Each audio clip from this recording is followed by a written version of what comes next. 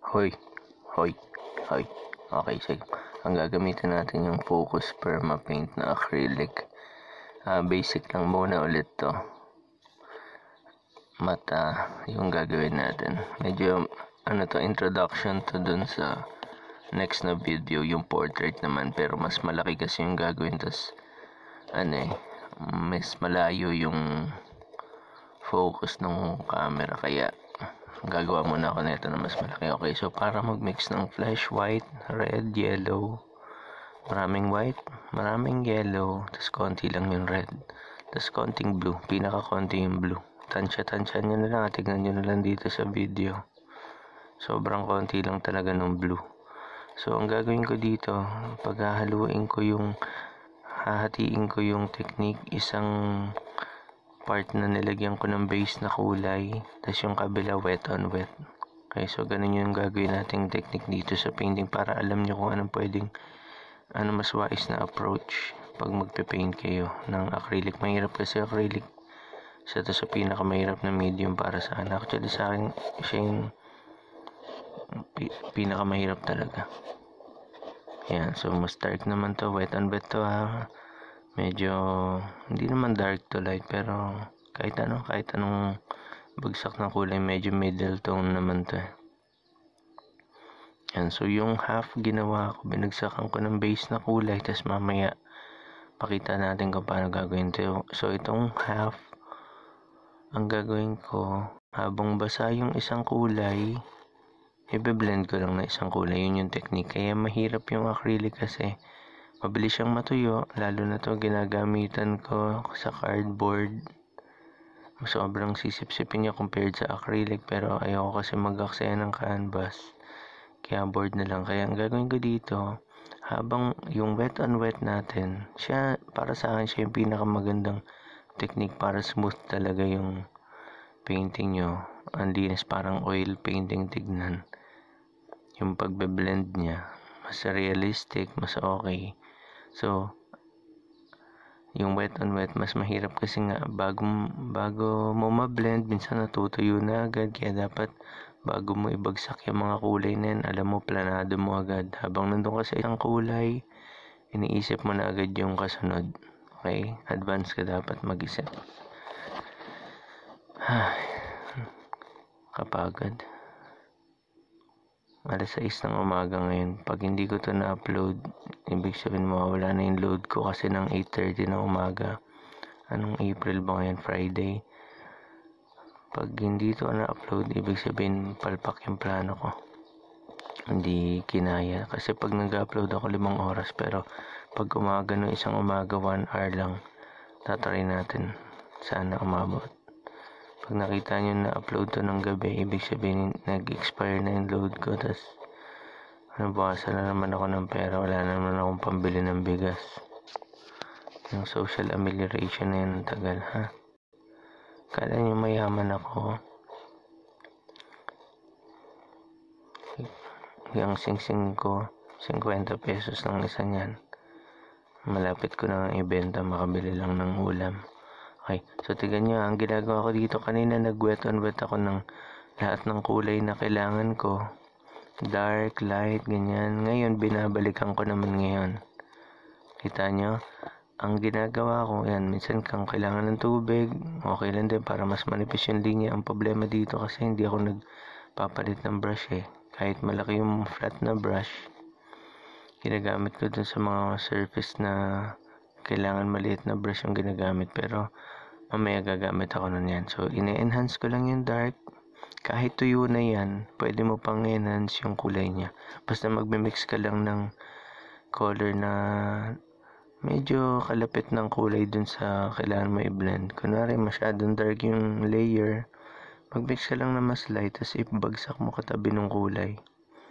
Yan. So, ito dry brush. Nakita nyo yung hinagod ko sa gilid. Parang, parang colored pencil lang dry brush yun. So, hindi ko kailangang basa, basa yung surface sa kabila bago ko ibagsak yung kulay. Narinig nyo may cricket. Buisit.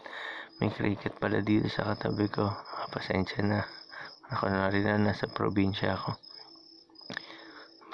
Nakatakas nga tayo sa nagpupukpok tsaka sa aso, cricket naman ngayon. Ang ginagawa ko dito, medyo ito yung technique na nakakasira ng brush kasi kinakayod pero hindi kasi dapat ito yung brush na ginagamit ko. Pero br- ano kasi brush to ng focus. Kaya NG Bros kaya yan din ang ginamit ko. Para consistent sa brand. Uh, ang ginagawa ko dito dry brush. Tuyo na yung naunang surface. Obvious naman kasi kanina ko pa ginawa yun. Tapos kakayurin ko nung darker tone. Tapos mabilisan ng hagod para para kang nagme-makeup talaga. Kung pa, paano naging parang nagme-makeup. Lagi ko lang sinasabi parang nagme-makeup ka. Alam mo naman lahat ng tao nagme-makeup. Okay. So ang ginagawa ko yan yung cricket ang ingay. Ang yan yellow naman ang dry brush ko. Tuyo na yung surface na flesh na yun ha, pero binabagsakan ko na madilaw na skin tone. Pero mabilisan ng hagod dry brush para ma-blend siya tig kunwari. Para talagang colored pencil o charcoal yung bagsakan nito. Para makita nyo na paano kaya kung ang bilis nga matuyo ng acrylic, anong gagawin ko ngayon? Paano ko mabe-blend yung kulay niya? Eh, pahinto-hinto akong gumawa, beginner lang ako. Paano ko gagawin yan? Sumuko ka na. Huwag ka nang gumawa. Huwag ka nang magpenta. Hindi, joke lang. Mandami kasing palusot eh. Hindi, pero alam ko naman mahirap talaga yan.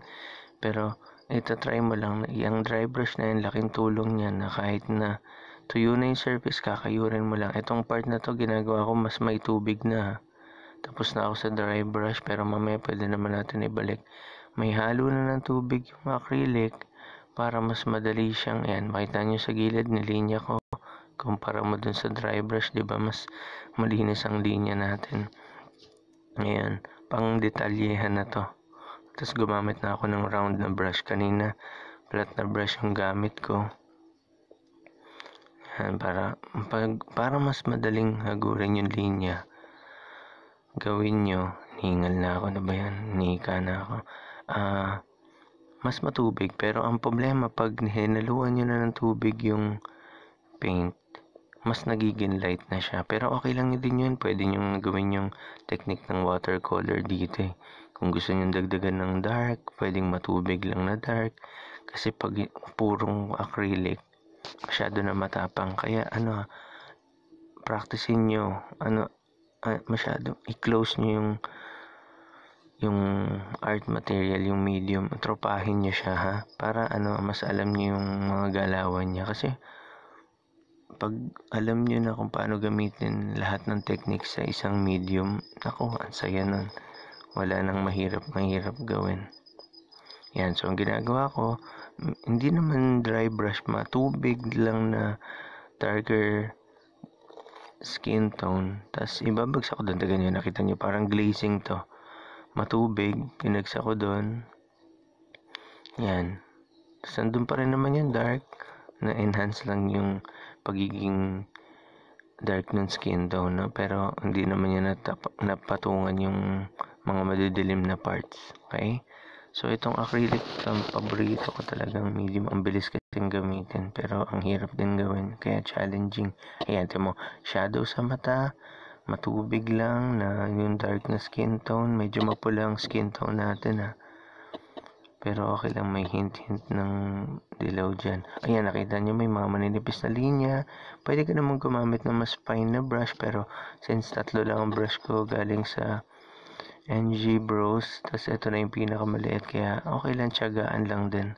Hindi nyo kailangan laging masab maraming ano ah, ah masyadong maraming brush.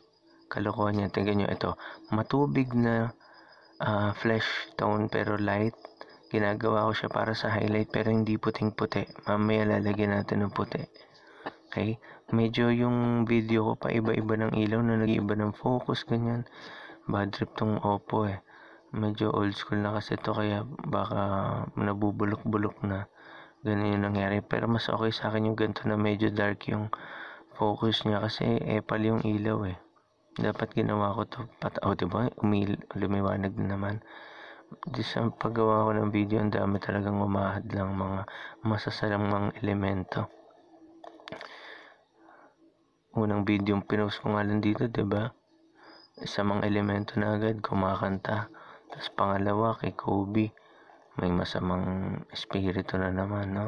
Sunod-sunod, sumunod na masamang espiritu, yung pumupukpok. Tapos yung aso, ito naman pati ilaw. Tapos ngayon may cricket. O, tignan nyo. Go, gagamit ako ng black. Dami kong sinasabi, no? Pero hinaluan ko muna ng blue tsaka red. Para hindi siya sobrang tapang. Tapos titignan ko muna kung okay na ba tong black na to. Na gantong dark tone. Pero kung kulang pa, pwede ko nang gamitin yung purong black. Pero sa akin na, kung pwedeng wag nyo gamitin yung purong black, haluan nyo na ibang kulay, mas okay yun. Kasi ang laka, masyado matapang ang black. Hindi ako nagiging racist na, grabe ko, ang black daw ang tapang niya.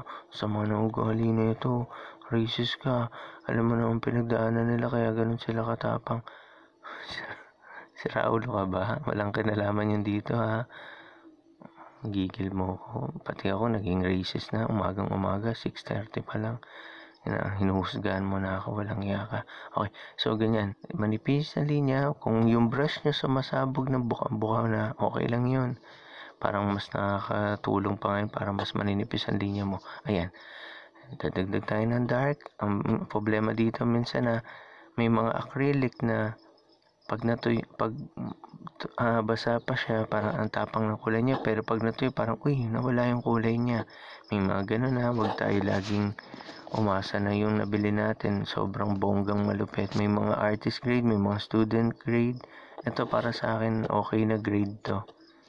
Basta grade 5, mga kung ano mang tawag dun sa mga term niya.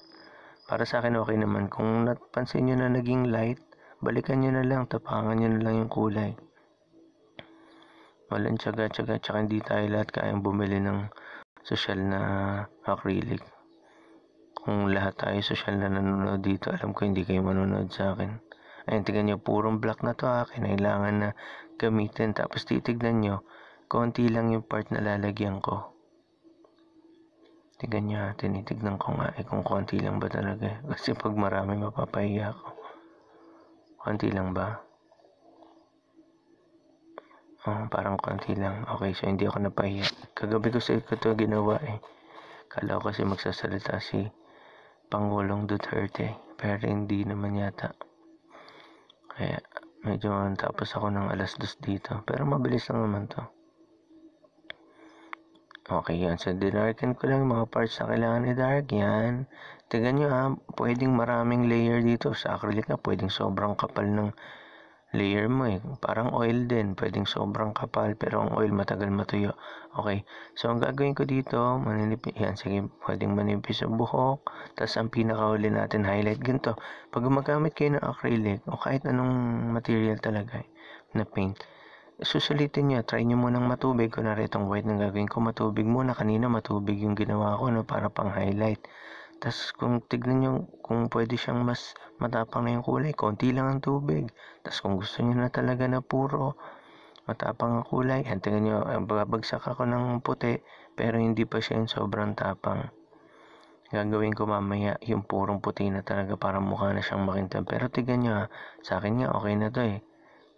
Apple talaga tong ilaw. Okay yung ganyan, no? Para mas realistic lang siya tignan. Pero kung gusto natin maging mas madrama, mas intense yung light source, doon na tayo mag, ano, maglalagay ng ilaw. Maglalagay ng sobrang tapang. Yan, yan. Ayos, di ba? Ayos. Ayos, ayos. Ayan, mas, mataba, mas matapang na yung white, mas umukha na siyang umiiyak. Siguro ikaw, tinatry mo to ngayon. Kung nanonood ka, tapos naiiyak ka na rin dahil mahirap. Pero salamat at Renay mo. Natutuwa nga pala ako sa mga nanonood. Ah. May mga nagko-comment pa. O kaya nanonood ako. Ganyan-ganyan. Salamat. Babanggitin ko kayong lahat habang konti pa lang kayo. Malay nyo maging sikat ako. Alam ko. Nararamdam ko na eh. Parang sa loob ng 30 years, magiging 400 na ang subscribers. Hindi, okay lang. Basta may natututo, wala akong pake kahit hindi maging pera tong YouTube na to kasi baka mahirapan na ako magturo kasi ayoko na lumabas, baka mahaway nanay ko. Okay, so ganyan, ganyan, nag-highlight lang ha. Tama mas mukhang madrama na to. Yan. Ito yung, binib yung paint na nakita niyo, Focus Perma Paint. Maganda rin yan.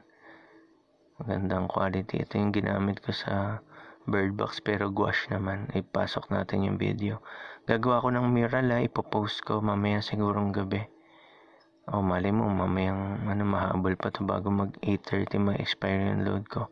Yan, matu tandaan nyo, dry brush yung isang half, tapos yung isa wet on wet, tapos kayod-kayod, okay? So, salamat sa mga nanood, mga nanood. Oh, binalik ko yung ride kasi hindi ako mayaman, sayang. Feeling mayaman lang ako. Yung blue pinalagpas ko na. Ayan. So, ayan. Okay, salamat sa inyo nanood. Thank you kay Sir Edward Roy, teacher ko yan ng elementary. Ako nagturo ng art sa akin. Yes, thank you.